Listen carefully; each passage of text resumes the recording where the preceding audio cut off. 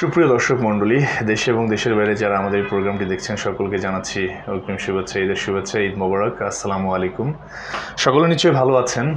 একটা জিনিস আমি বলতে চাই যে, ব্যথা ব্যথা একটা কিন্তু আমাদের নিত্যদিনের একটা সঙ্গী। আমাদের চলতে, ফিরতে প্রত্যেকটা মানুষ আমরা বিভিন্নভাবে অসুস্থ হয়ে পড়ি, ব্যথার কারণে যন্ত্রণা করি। তো মানুষের জীবন চলার পথে অনেক ধরনের অ্যাক্সিডেন্ট আসতে পারে, অনেক ধরনের সমস্যা আসতে পারে। এই সমস্যাগুলোকে আমরা সঠিকভাবে রোগ নির্ণয় যদি করতে পারি, তাহলে আমরা সঠিক একটা মানে চিকিৎসা নিয়ে আমরা সুস্থ জীবনযাপন করতে পারব।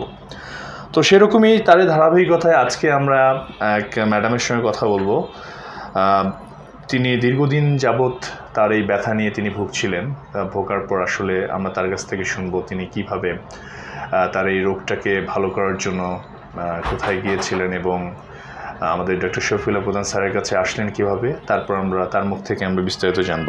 চলুন তাহলে আমরা কথা বলি ওনার সাথে। আসসালামু আলাইকুম। ওয়ালাইকুম আসসালাম। ভালো আছেন? হ্যাঁ আলহামদুলিল্লাহ। আচ্ছা প্রথমে জানতে চাচ্ছি আপনার নামটা একটু বলবেন আমার নাম রানু বেগম। রানু বেগম। ম্যাডাম আপনার কোথা থেকে আসছেন আপনি? আমি আমার দেশের বাড়ি বিক্রমপুর থাকি আমি মোহাম্মদপুর। মোহাম্মদপুরে থাকেন আর কি আচ্ছা। তো ম্যাডাম আপনি আমাদের এখানে হসপিটালে ভর্তি ছিলেন তো আমি একটু জানতে চাচ্ছি আপনার যে সমস্যার ব্যাপারে। তো এটা আপনি তার আগে একটু জানি যে আসলে আপনি কি গৃহিণী নাকি কোনো প্রফেশনে আছেন? এমনি ঘরে অবসরে আপনি গৃহিণী না? আচ্ছা ঠিক আছে। তো আপনার যে সমস্যাটা হয়েছে এটার জন্য আপনি ফার্স্টে কি করলেন? কীভাবে জানলেন বা কি কি অসুবিধাগুলো আমার এই ব্যথাটা মনে করেন অনেক দিন যাবত আমার বড় ছেলে হয়েছে এরপর থেকে আমার হিসাব পাতালে ব্যথা।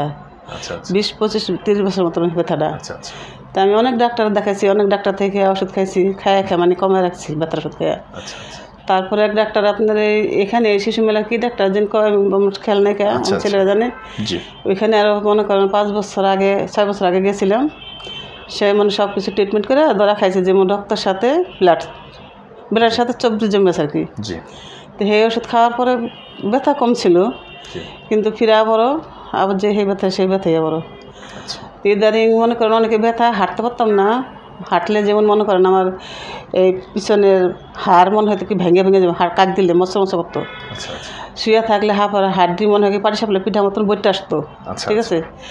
তো মনে করেন শ্বাস নিতে পারতাম না আস্তে আস্তে যেমন শ্বাস নিতাম আর কি। তো এরকম সমস্যাটা বেশিরভাগ হয়েছে মাসকানি দিরা আচ্ছা। তো মাসকানি দিরা বেশিরভাগ হয়েছে মতন আমি বিছানা যাওয়ার পরে আমার ওখানে সব কিছু হেরা পরীক্ষা দিল। হেরা এমআরআই দিল এক্সরে করল আর কী কী দিন করছে আমি ওটা সঠিক বলতে পারি না। জি। আমার মেয়েরা বলতে পারে যাই হোক ওইখানে হে হেরা দেখা তারা বলল যে আপনার শরীরের হাড় একটা বাচ্চা মানুষের থেকে নরম হয়ে আসে গা। আচ্ছা এত আচ্ছা নরম হয়েছে। আর মেরুদণ্ডের হাড়ের ওলগা খাওয়া ইয়ে যায় ও একটা রক ভারে জেল ভারে আছে গা ঠিক আছে? তা আমি এর মধ্যে কাক দিতে পারি উঠতে পারি? মনে করেন একটা কাক দিলে আমার আধা ঘণ্টা সময় লাগতো। এই অবস্থা। তা ওখানে মনে করেন একটা সই লেখছিল হেরা যে ছয় মাস পর্যন্ত একা দ্বারা সই নিতে হবে। তো ওই সুইটার দাম মনে এক মাসের কোর্স মনে করেন পঁচিশ হাজার সাতশো টাকা। আচ্ছা আচ্ছা। ঠিক আছে? তো ওই সুইটা আমি আনছি। এখানে আপনার এখানে নদীতে আছি হেঁটে। ডাক্তার বলছে যে ঠিক আছে এটা চালিয়ে যান। হওয়ার জন্য এটা দিচ্ছে আর কি। তারপরে আমার ছোটো মেয়ে যে আমি এখানে আসছে চিকিৎসা করছে হ্যাঁ পনেরো দিন থেকে গেছে। জি। তো এ বলল যে আম্মু যে আপনি এখানে টাকা ও এর মধ্যে ডাক্তারের কাছে ফিরাবো গেলাম। তারা বলল যে আপনি নিচে তিনতলা যান যাই হে ডাক্তার কাছে বলুন আপনি ভর্তি থাকতে হবে। আচ্ছা আচ্ছা। তো এর মধ্যে আমার জামাই বলল যে আর মেয়ে বলল যে আপনি এখানে টাকা খরচ না করে আমি যে জায়গায় গেছি সেই জায়গায় আপনি যান কাজে লাগবো। টাকা তো কম খরচা করলেন এদিকে ওখানে অনেক খরচা গেছে তখন আমার মেয়ের জামাই যেমনি জায়গায় নিয়ে আসলো। এখানে আসে স্যারের কাছে দেখা করলাম। হ্যাঁ ভর্তি রাখল আজকে পনেরো দিন যাবত মানে স্যার যেদিন আপনি স্যারের কাছে আসলেন আপনার মির জামাই বলল যে উনি ওখানে ট্রিটমেন্ট নিয়েছিল। উনি একটা সুস্থ হওয়ার পর একটা কনফিডেন্স আছে হ্যাঁ, যে হ্যাঁ। আপনাকে যদি সেখানে দেখানো যায় আপনি হবে। আচ্ছা যেদিন শফিউল্লাহ প্রধান স্যার আপনাকে দেখল দেখার পর থেকে কি হলো? স্যার কি বলল আপনাকে? দেখার পর ওই পরীক্ষা নিরীক্ষা দেখছে সে। দেখা আর হ্যাঁ নতুন করে কোনো পরীক্ষা দেয় নিকা উনি দেখার পরেই মনে করেন হ্যাঁ আমার চিকিৎসা চালাইল আর কি করল। যাই হোক ওই যে সই দিল মানে মেরুদণ্ডতে সই দিছে। এটি দেওয়ার পর মনে করেন ইনশাল্লাহ আল্লাহ রহমতে ছোটো বড়ো পাঁচজন সবার দিয়ে আমি এখন ভালো আছি। সুস্থ জীবন আমরা দিয়ে হাঁটতে পারি সব কিছু করতে পারি। আমার এখানে ব্যথা ব্যথা সবই আল্লাহ দিলে কমছে। আচ্ছা। এই হচ্ছে আমার কথা। আর আপনারাও সবাই আমার জন্য দোয়ার খবর আমি অনেক বছরে ব্যথায় ভুগছি অনেক বছর। আজকে মনে করেন পঁচিশ বছর তিরিশ বছর ধরে আমি ব্যথা ভুগতেছি। একটা দুটো দিন না। আচ্ছা আমাদেরকে বলুন আপনি যে দীর্ঘ তিরিশ বছর ধরে এই সমস্যাটা মানে ভুগছেন আর কি। মানে তখনই ছিল আমার মানে এরকম হাড় যে নরম হয়েছে ওরকম একটা বোঝা জানে কে যেমন মনে করেন পিঠে আর কোমরে ব্যথা ছিল। তখন আমি দূরে তিনটা বালিশ নিয়ে উব্বতে থাকতাম। রাতের পর রাত ঘুম আসতো না আমার এই ব্যথার যন্ত্রণায়। ঘুম চোখে থাকলেও ঘুম আসতে পারতাম না এরকম অবস্থা। তো এরপরে যে করলাম যে ডাক্তার দেখালাম। বলল যে বিলাটের সাথে চব্বিশ জমা হয়েছে এটা ভালো হলো। আবার যে এই সমস্যা তো এখন এখানে এসে এখন আল্লাহ পাকরা বলালাম সে জানে আমি সুস্থ দেখো দিন আল্লাহ হাত দান করুক এভাবে সুস্থ থেকে দিন আল্লাহর দরবারে চলে যেতে পারি এই দোয়া আশা করি কামনা করি আপনার কাছে। তার মানে আমরা জানতে পারলাম যে আপনি দীর্ঘ তিরিশ বছর ধরে যে যন্ত্রণাটা নিয়ে ভুগছিলেন ডক্টর শফিউল্লাহ প্রধান স্যারের কাছে আসার পর আপনি ভর্তি থাকার পর আজকে যে আপনার অনুভূতিটা যে আপনি আলহামদুলিল্লাহ মানে সব তো আল্লাহর ইচ্ছে হ্যাঁ, হয়ে থাকে। তো আজকে আপনি মোটামুটি অনেক ভালো আছেন হ্যাঁ, অনেক ভালো সুস্থতা নিয়ে আপনি হ্যাঁ। চলে যেতে পারছেন তো সুপ্রিয় দর্শক মণ্ডলী আজকে আমরা রানু বেগম ম্যাডামের কাছ থেকে জানব। আমাদেরকে অনেক দর্শকই দেখছে।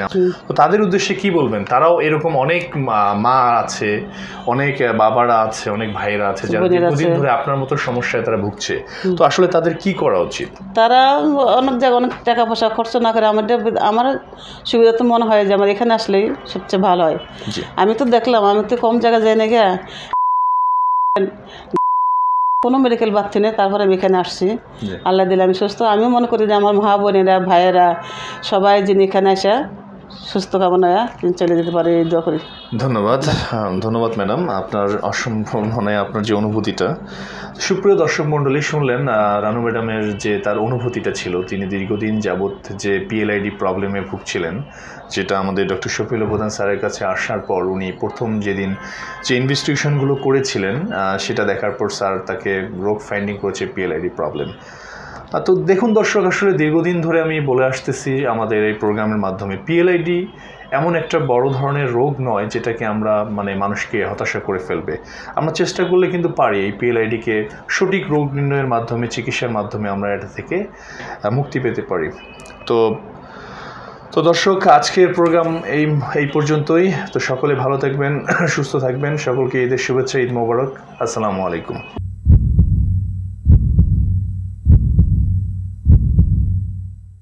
দীর্ঘজীবী হওয়ার প্রথম পদক্ষেপই হচ্ছে সুস্বাস্থ্য নিশ্চিত করা।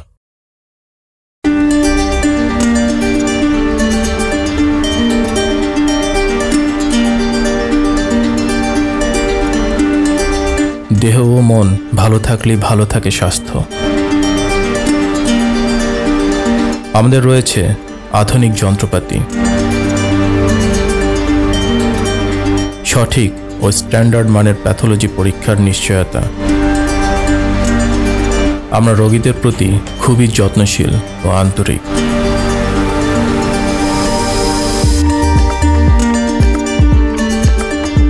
আমরা সর্বপ্রথম প্রতিটি রোগীর সঠিক রোগ নির্ণয় করি, এরপর রোগ অনুযায়ী অপারেশনবিহীন চিকিৎসা দিয়ে থাকি। আমাদের প্রতিটি ডক্টর, নার্স ও থেরাপিস্ট প্রশিক্ষণপ্রাপ্ত ও দক্ষ। আমরা প্যারালাইসিস রোগীদের নতুন করে চলতে শিখাই।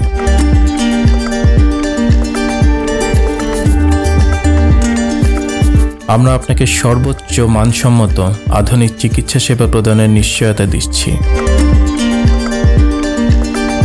আমরা বিশ্বাস করি আপনি এখানে আপনার নিজ পরিবারের মতোই সেবা পাবেন।